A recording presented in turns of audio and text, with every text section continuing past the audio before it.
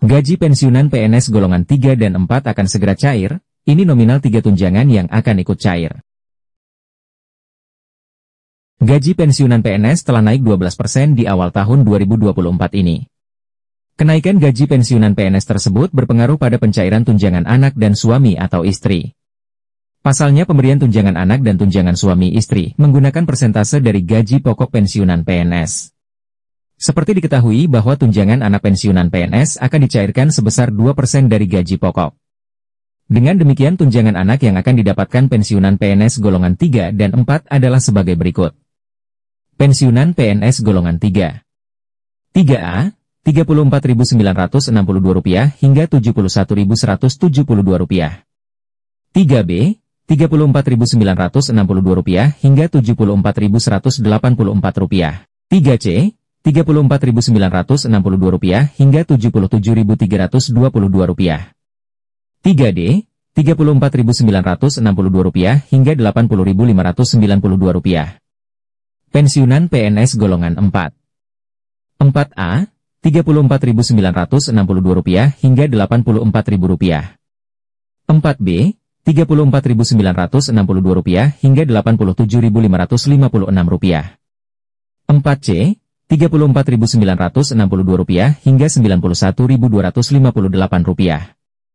4D, Rp34.962 hingga Rp95.118.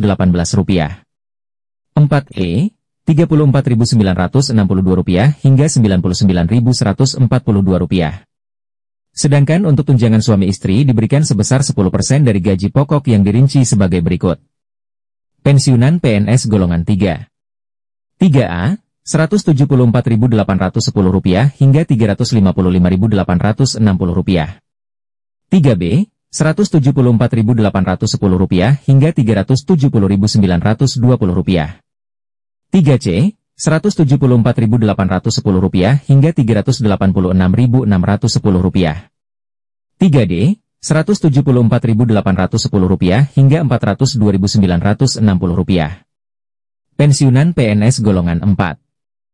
4A, Rp174.810 hingga Rp420.000. 4B, Rp174.810 hingga Rp437.780. 4C, Rp174.810 hingga Rp456.290. 4D, Rp174.810 hingga Rp475.590. 4E, Rp174.810 hingga Rp495.710. Dan tunjangan terakhir yang akan didapatkan pensiunan PNS adalah tunjangan pangan seharga 10 kg beras.